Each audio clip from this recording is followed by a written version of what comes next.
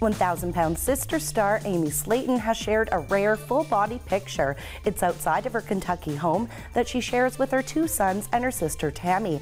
When Amy first appeared on 1,000 pound sisters, she weighed over 400 pounds. After gastric bypass surgery in 2019, she now weighs around 275 pounds. Her sister Tammy tipped the scales at 700 pounds when the show began. She's now down to just about 400 pounds and lost about 300 and she's also shared photos of her transformation recently.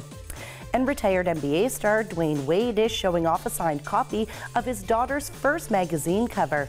She's been sharing her story as a trans teen while making a name for herself as a model for Star Watch. I'm Ashley Camuzzi.